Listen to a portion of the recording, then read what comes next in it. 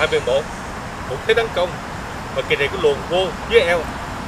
Hồi nãy quý vị đã ôn học quán đồng này. Một, hai, ba. Bây giờ y như vậy. Một, lên. Hai, ba.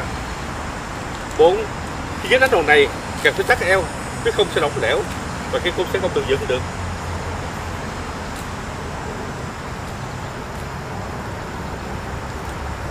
Qua eo dính eo. Dính eo. Qua đầu.